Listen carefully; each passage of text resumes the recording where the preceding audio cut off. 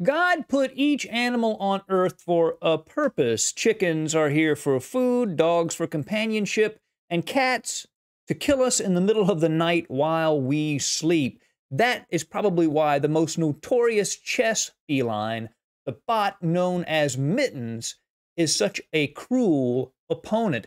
The way Mittens plays, it's almost like it's playing with yarn. It gives you just enough string to keep you in the game and then takes care of you very, very viciously. Now, in addition to being a cruel opponent, the cat is a liar too. Mittens claims to have a rating of 1. Now, it's not even possible to get a rating that low, and it's very clear Mittens is much, much stronger than 1, probably over 3,000. And in today's game, Mittens is tested against one of the best human players on the earth, particularly in Blitz, Hikaru Nakamura, who has white in this game. There is no time control, but both players played very quickly. Hikaru, again with white, begins the game with g3. He wants to get out of book. You know, get the get the cat on its own, thinking on its own as quickly as possible. e5, bishop g2, and very quickly what Hikaru is playing here is called the hippo system with all these pawns, but with colors reversed. Usually you play this with black, and it allows white to play a lot of different pawn breaks over the course of the game. Continues on. And e4 is played by Mittens, gaining space in the middle of the board. Here, Hikaru responds with d4, and the computers don't actually like this. Computers prefer knight to f4. But now after d4, this structure is locked. This bishop is locked out, and black has a lot of space on the king side b6, king h2. And again, there's a lot of maneuvering in this game. Computers tend to do that when they face a strong opponent. Now b5. So Mittens makes a very strange move. b5 is not the most human move on the board because it takes away the pawn flexibility from black's queen side. Computers do like it, but the reasons humans don't like it is because Hikaru plays b4, locking up this structure on the queen side, making it harder uh, for Mittens to break through a5, c3, some maneuvering. Hikaru uh, wants uh, Mittens to take on f4 because then after ef4, he could play knight to e3 and get his knight on that comfortable e3 square. Bishop g4 hits the queen, so the queen moves. A period of maneuvering. And what basically Mittens is doing is looking for a way to break through into Hikaru's position. So the ultimate threat here is that Mittens is going to double on the A file which he eventually begins to do. Lots of maneuvering in this game. Now we see the Mittens begin to move. He sees this weak square on c4. Mittens wants to play knight d7, b6, c4, which hits the queen, and he can begin his domination of the queen side, and that's exactly what happens. Queen moves, knight goes to b6, aiming at c4. Oh, Hikaru's knight challenges that square, bishop g4, knight h3, knight c7, bishop f1, and now taking, and now rook to a2, penetrating into the seventh rank with Mitten's rook, gaining a tempo against the bishop on b2, which is a very bad piece. you know, has no mobility at all. Rook to c2 to defend the bishop, now doubling, queen to b1, and now knight to c4. So you can ask, why would Mittens want his knight to be exchanged on c4? Well, here's the reason. After knight c4, which Hikaru plays, he plays b takes c4, and now this knight at c7 can jump into the b5 square. He could have also taken with the d pawn, and the knight jumped into the uh, d5 square as opposed to the b5 square. Bishop e2, bishops are exchanged, rook e2. And now here, Stockfish 15 prefers moves like queen to f6, just biding time. But Mittens says now's the time to go for the kill against Hikaru, and he plays bishop takes b4, a short-term piece sacrifice after pawn takes bishop Queen takes, and the threat is c3. And now there's a pin, as you can see, on the second rank. Queen to c1, knight to b5.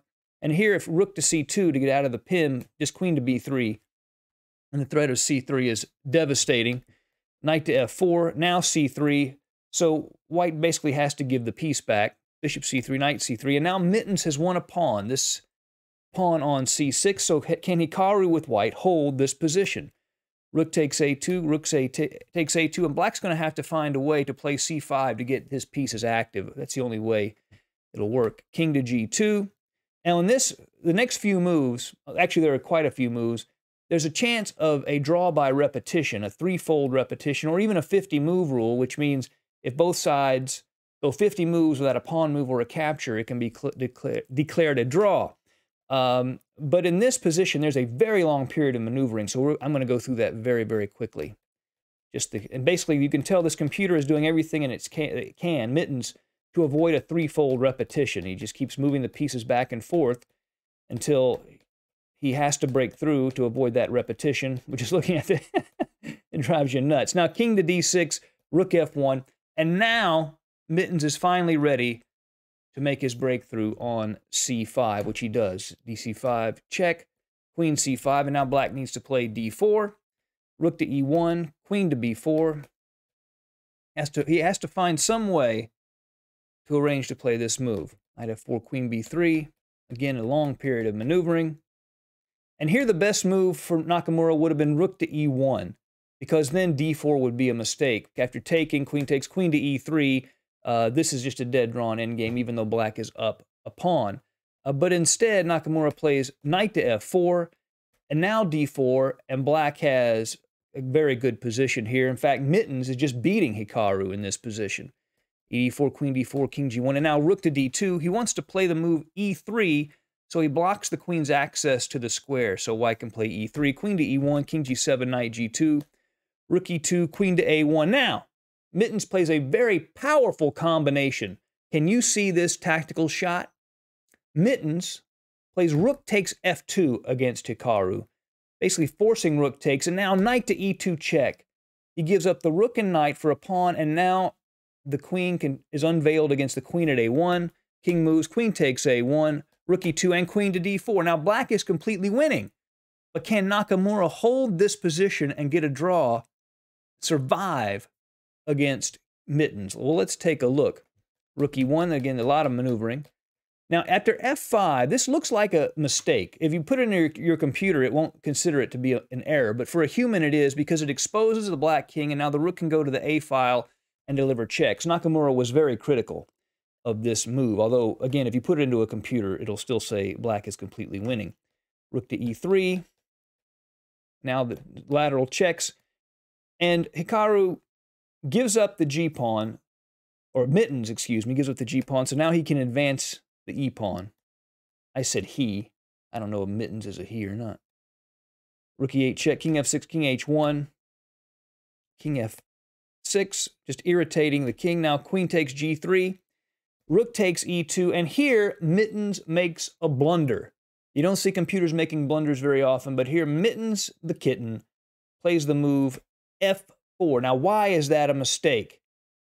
Here is why. Naka plays the brilliant move knight takes f4 double exclamation point. Why? Because if Mittens takes the knight, then this brilliant move would be the response. Rook to f1. And if queen takes rook, that is a stalemate. And the game would be drawn on the spot. So instead, Mittens has to take on h4 with check, and now Nakamura is going to try to create a fortress. G is And the big problem for Mittens is he's stuck with a, a rook pawn. So he trades off the queen for these two remaining pieces. It's just a textbook draw.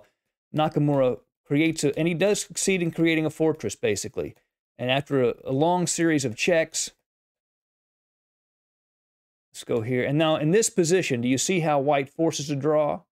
That's right, Nakamura plays rook to g5 check. The queen takes, and pieces are exchanged, and we have a drawn king and rook versus king endgame. It was played out because it's a computer. Humans would not have played this out. So we see boom, boom, boom, boom, boom, boom, boom, and stalemate. Now, Naka said he wasn't impressed, but in my opinion, Mitten was just playing games with him like a ball of yarn. Mittens kept Nakamura in the game. Thank you for joining us at ChessDawg. See you again soon. Bye.